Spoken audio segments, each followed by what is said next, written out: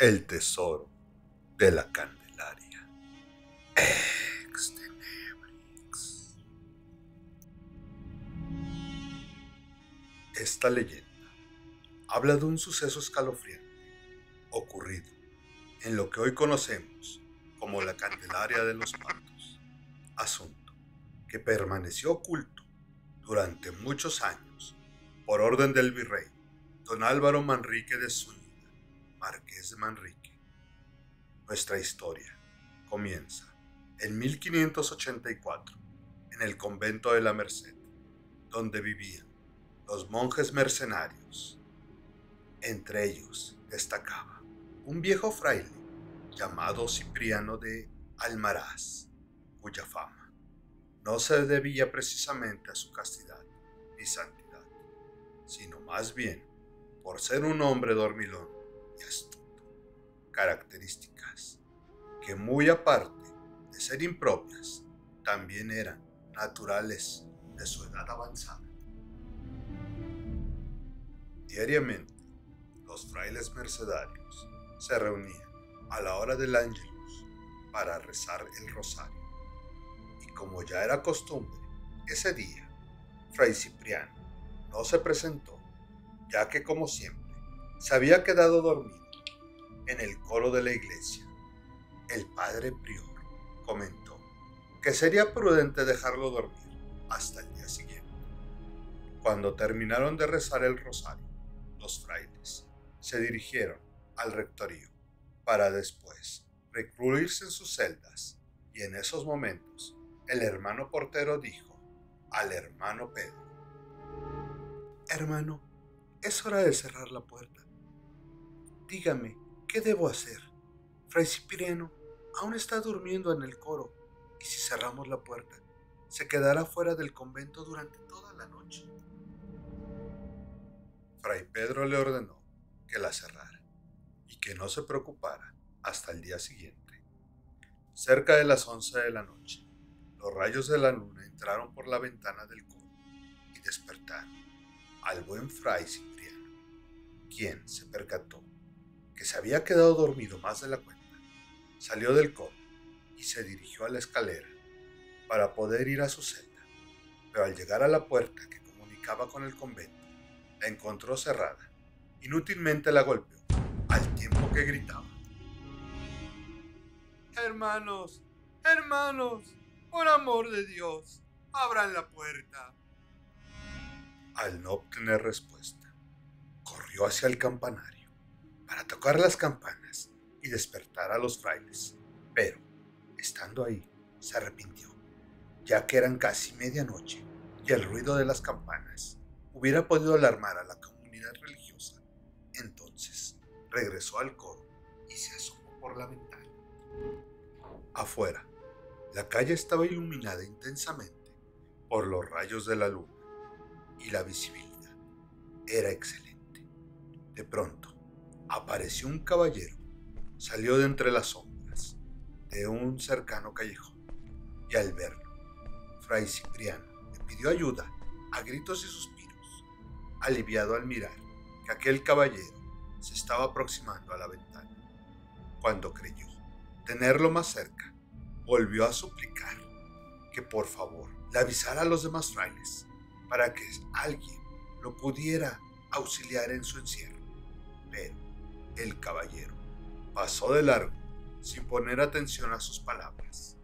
Fray Cipriano nuevamente bajó las escaleras para ir directamente a la puerta que permanecía cerrada e intentar, desde adentro, hablar con el caballero que había visto desde la ventana del coro. Pero cuando llegó a la puerta, se quedó paralizado de terror, ya que aquel caballero la traspasó flotando, como si fuera un fantasma. Fray Cipriano se estremeció al mirar aquella horrible aparición. Era un ser del otro mundo, pero por encima de su miedo, exclamó. Alma que vagas tus penas por el mundo, habla el nombre de Dios, mas ten en cuenta que soy un fraile viejo. No quieras imponerme tu penitencia, si acaso es pesada de llevar. Cuenta la leyenda que en los ojos del fantasma resplandecieron luces siniestras que se clavaron en las pupilas del fraile. Su fantasmal voz retumbó en el silencio de la nave del templo cuando dijo: Fray Cipriano, quiero pedirte un favor y a cambio yo te haré otro. A Fray Cipriano no le importó el ofrecimiento, pero el fantasma insistió y le dijo que tenía un tesoro escondido. Cuando el fraile escuchó la palabra tesoro, sus ojos brillaron de codicia y cambió su actitud. Entonces, el fantasma le mencionó que tenía un tesoro enterrado cerca del puente del Rosario, a un costado de la laguna, precisamente en donde había tres piedras formando un triángulo. Fray Cipriano contestó que aquel lugar estaba muy lejos, que él ya era demasiado viejo y no podría llegar hasta allá. Pero el fantasma persistió en su empeño de al decirle que el Señor lo había señalado para cumplir con ese trabajo y que no podía negarse a realizarlo. En ese momento, el traslúcido ser desapareció y el viejo fraile cayó desmayado a un lado de la puerta. Al día siguiente, los frailes descubrieron al viejo fray Cipriano tendido en el suelo. Pensaron que estaba muerto, pero al cabo de un rato, cuando volvió en sí, de inmediato buscó al padre prior para relatarle lo que había sucedido durante la noche. El prior no le creyó pues conocía de antemano que Fray Cipriano era un dormidor, que probablemente había soñado con el fantasma. Fray Cipriano se dirigió muy molesto a su celda, y aunque el padre prior no le creyó, él sabía perfectamente que el asunto del fantasma era una realidad. A raíz de esto, nunca más volvió a quedarse dormido en el coro de la iglesia. Tres noches después, mientras el viejo fraile dormía, despertó al escuchar otra vez la espeluznante voz del fantasma que lo llamaba. Fray Cipriano, Fray Cipriano, he venido a exigirte el favor. Debes hacer lo que te pido. El fraile se incorporó aterrado Dios mío, es el alma que pena por el tesoro. Por amor de Dios, ya es muy tarde. No puedo ir al puente del Rosario. Está muy lejos. Ignoró las señales. Y aparte, él decía que ya era muy viejo para desenterrar los hombres. Las aguas de la laguna han ablandado el terreno y el tesoro casi está a flor de tierra. Es preciso que lo saques de allí, respondió el fantasma. No es necesario que hagas ningún esfuerzo, pues yo te llevaré cargando sobre mi espalda. Entonces cargó al fraile y juntos salieron del convento hacia las afueras de la entonces capital de la Nueva España. A cada momento, Fray Cipriano le suplicaba que se detuviera, pues sus huesos ya no soportaban el dolor. El fantasma, haciendo caso omiso de sus palabras, siguió caminando hasta llegar al puente del Rosario. Y estando ahí, de inmediato, le señaló el sitio donde debería excavar para hallar el cofre lleno de oro y joyas. Viejo fraile se negó a cavar en ese momento pero le juró que lo haría al día siguiente, que sería mejor regresar al convento porque estaba muy cansado. Cuenta la leyenda que aquel caballero penaba por el mundo a causa de su avaricia. A la noche siguiente, el fantasma volvió a visitar al viejo fraile en su celda y nuevamente le dijo, Fray Cipriano, vengo a llevarte al sitio del tesoro De ninguna manera iré contigo. Enojado contestó Fray Cipriano. No has cavado, tal como lo prometiste. Vamos a volver a cargar. Le contestó el fantasma. Y así, durante tres noches consecutivas, el fantasma de aquel rico y avaro caballero cargó en hombros al clérigo hasta llegar al puente, pero Fray Cipriano no quiso cavar. Al paso de los días, Fray Cipriano cayó enfermo y nunca pudo desenterrar el tesoro de aquel caballero. Tiempo después, en la laguna de los patos, un indio se encontraba cazando a estos animalitos, justo en el puente de Rosario, cuando de pronto, ante sus ojos, sobre el agua, aquella macabra, lúgubre y espantosa figura del avaro caballero se fue forjando. El indio gritó aterrorizado al verlo y le pidió que en nombre de Dios se alejara de él y que no, por ambición, estaba cazando patos, sino que su humilde condición lo obligaba a trabajar por las noches para venderlos en la ciudad. Que por favor no lo castigara. No vengo a castigarte, sino que estoy aquí para ayudarte, respondió el fantasma. Si me obedeces, nunca más tendrás que cazar patos. Yo te haré inmensamente rico. El indio no quería tener tratos con el diablo. El fantasma le dijo que venía del purgatorio y necesitaba de su ayuda.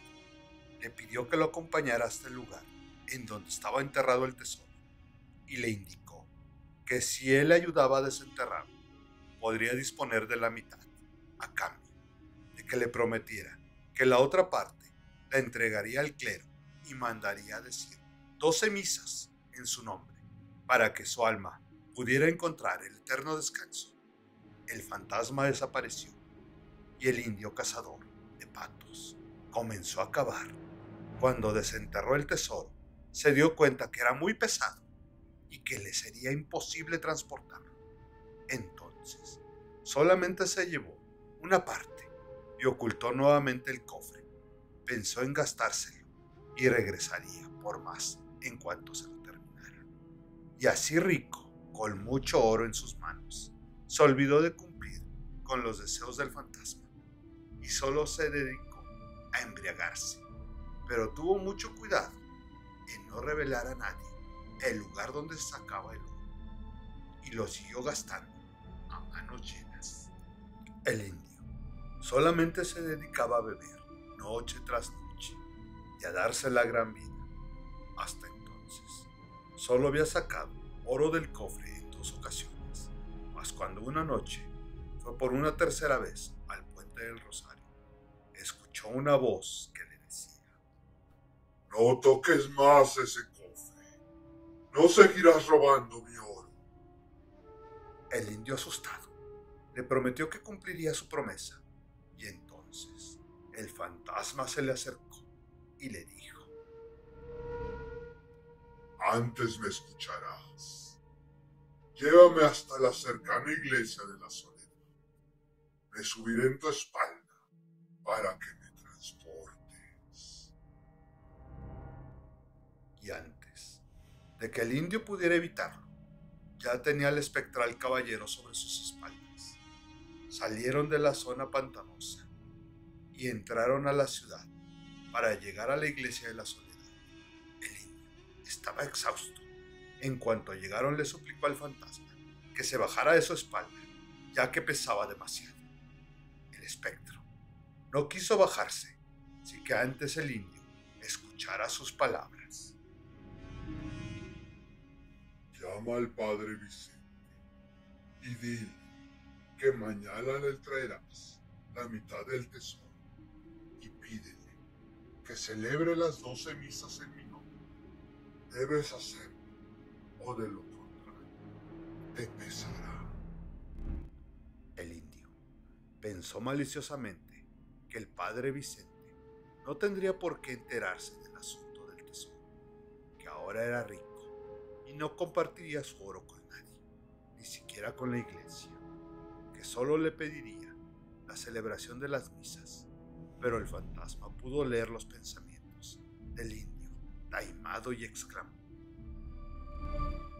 No, ni lo pienses. Debes cumplir todo lo que te prometiste. De lo contrario, no dejaré que jamás descanses y vagarás junto conmigo por lo que te reste de vida. Entonces, un terrible pánico se apoderó del indio, quien desde ese momento corrió por las calles gritando despavorido. ¡Ay! ¡Ay! ¡Bájate! ¡Quíteme a este fantasma de encima, por amor de Dios! ¡Ay!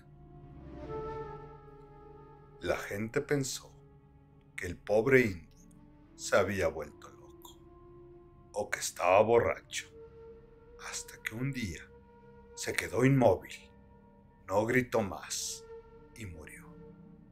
El fantasma se cuenta que siguió deambulando cerca del puente. Unos dicen que cuidando su tesoro y otros que seguía buscando a alguien que le ayudara a desenterrar el cofre para poner fin a su eterno penar. Según las crónicas de la época, nunca nadie encontró el tesoro. El terror está